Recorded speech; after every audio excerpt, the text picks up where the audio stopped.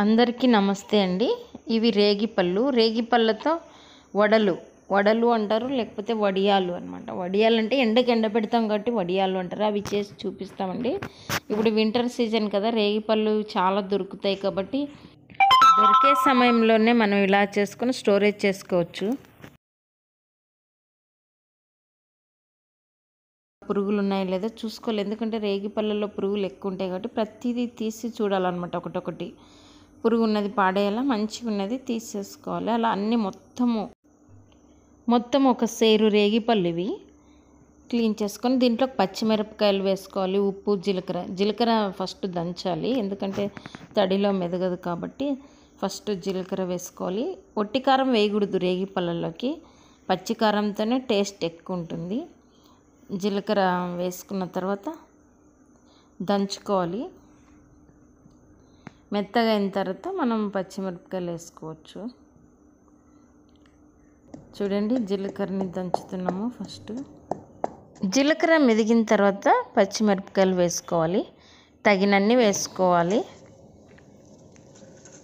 ఉప్పుతో దంచుకుంటే మెత్తగా మెదుగుతుంది అనమాట ఉప్పు వేయాలి తగినంత.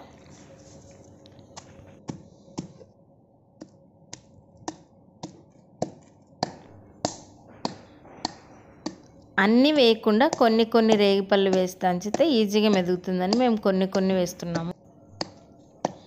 ఇలా కొద్ది కొద్ది వేసుకుంటూ దంచాలి.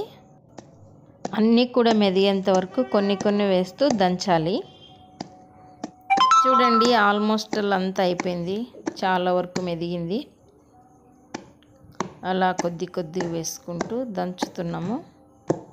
చూడండి ఎంత బాగా మెత్తగా అయిపోయింది. ఇలా చాలా రేగి పళ్ళు కొనుక్కొని కూడా మనం స్టోరేజ్ చేసుకోవచ్చు. వింటర్లో కొనుక్కొని ఇంకా మిగతా సీజన్లో తినొచ్చు. చూడండి ఇట్లా వడల టైప్లో చేస్తాము.